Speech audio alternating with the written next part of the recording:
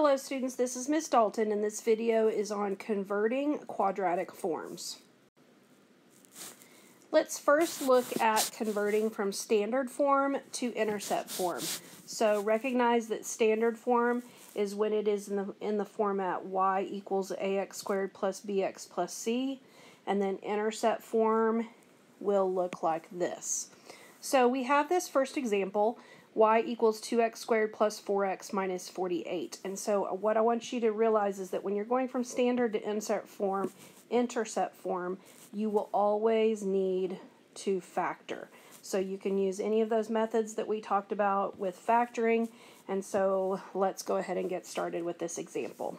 So the first thing that I recognize when I'm looking at this quadratic is that it has a GCF of 2. So I'm going to first factor out the 2. So y equals 2, parentheses, when I divide the first term by 2, I get x squared. When I divide the second term by 2, I get plus 2x. And when I divide that last term by 2, I get minus 24. Okay, then your next step is step is to make your AC chart. So get a different color. So I'm going to do the A term of 1 times the C term, negative 24. So my AC chart is going to be made up of the factors of negative 24. Okay, so start at the beginning, negative 1 times 24. Then we have negative 2 times 12. Then we have negative 3 times 8. And then we have negative 4 times 6. And then, of course, we have the opposites when you uh, switch the negative to the other side. Okay, so that we are looking for the ones that will add up to a positive 2. And so this pair, when I add those up, I do get a positive 2. So those are what I'm going to use. So I'm going to now split this middle term. I will go ahead and bring down what I have. So I'll have y equals 2 then I'm going to go ahead and switch to a bracket.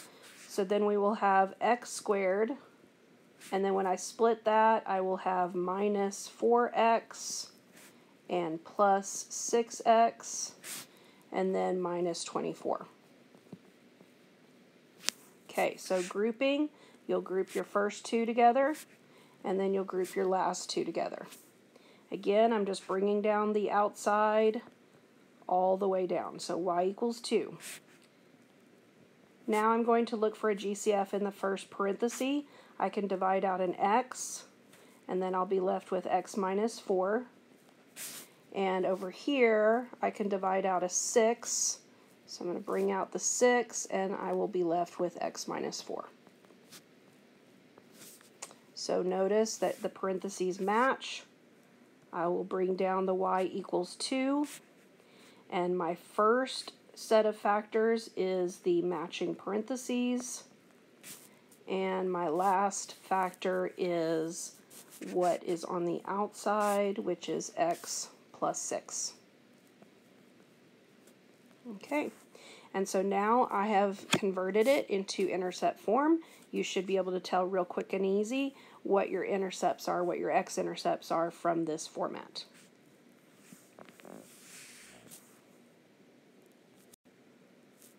Okay, the next type is going from standard form to vertex form.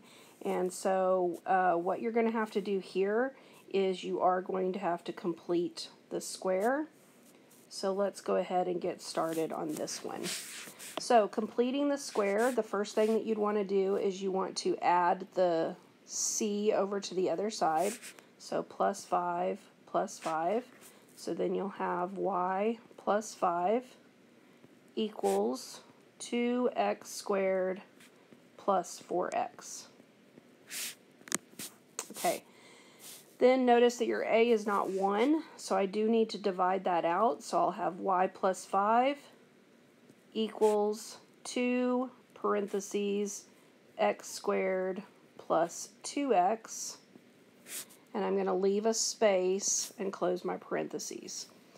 In this space, you will take half of that b term, so take 2 and divide it by 2, and then square it. So 2 divided by 2 is 1, 1 squared is 1, so I'm going to add in a 1 here. But remember, on that right side, I'm really adding a 2 times 1, which is 2, so I'm going to need to add that to the other side as well. So then I will have y plus 7 equals 2, and then this factors with the perfect square pattern, which would be x plus 1 quantity squared.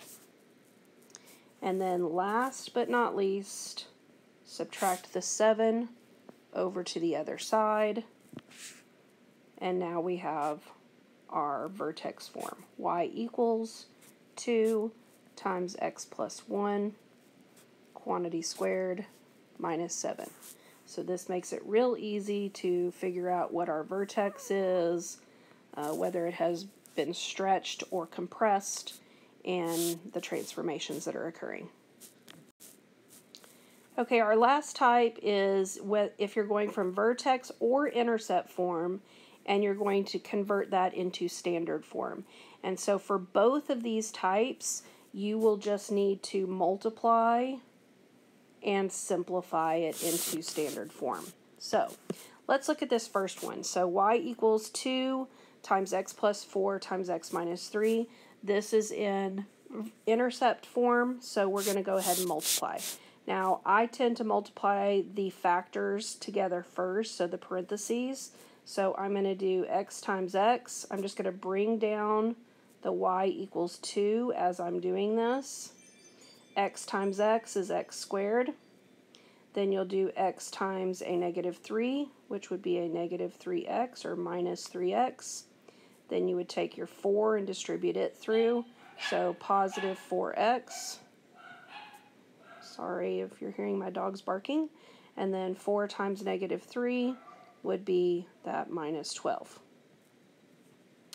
Go ahead and simplify further by collecting like terms. So y equals 2 times x squared plus x minus 12.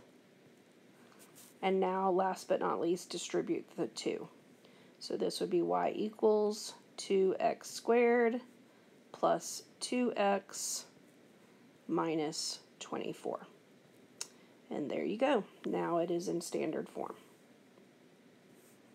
All right, so let's look at the second example. Second example is in vertex form. So we have y equals 3 times x minus 2 quantity squared plus 4. So we are going to first write down the x minus 2. We're going to write that down twice because anytime you have a quantity squared, that just means you need to multiply it times itself twice. And so we're going to start here. We are going to multiply the parentheses. So we will have y equals 3 parenthesis. x times x is x squared. Then we have x times negative 2 would be negative 2x. Then we have negative 2x again. And then we have negative 2 times negative 2, which is a positive 4. And then don't forget to bring down this last piece. Put that on the outside of the parenthesis. Okay, let's go ahead and combine our like terms. So we have y equals 3 parenthesis x squared minus 4x plus 4 and then plus 4 on the outside. Distribute the 3. y equals 3x squared. Then you would have a minus 12x. And then you would have a plus 12. And then I would want to add the 4 onto the end. And then now collect your like terms there at the end. So you have y equals 3x squared minus 12x plus 16. Okay.